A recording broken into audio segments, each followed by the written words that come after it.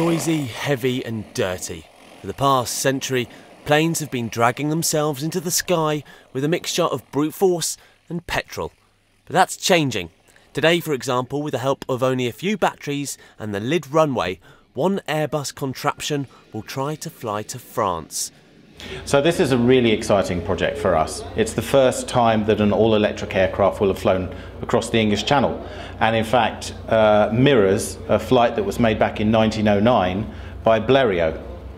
He's referring to Louis Blériot, the first man to fly across the narrow strait. It took him 36 minutes.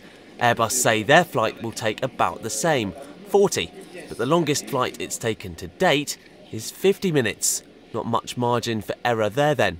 There's not actually that much in the way of new technology when it comes to this aircraft. Concepts and ideas have been taken from existing models and pulled and adapted to allow this to happen.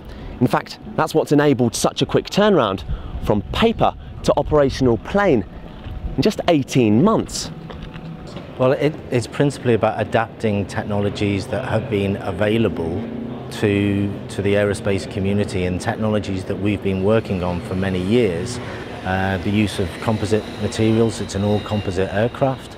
Uh, we've been working on battery technology uh, for, for a number of years now and we have been able to successfully integrate that into a working airframe uh, which is a success in its own right.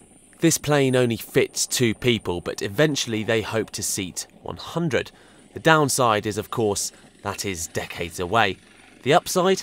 At least it'll give you a chance to save a few air miles. This is Graham Stothard for KMTV in Lydd.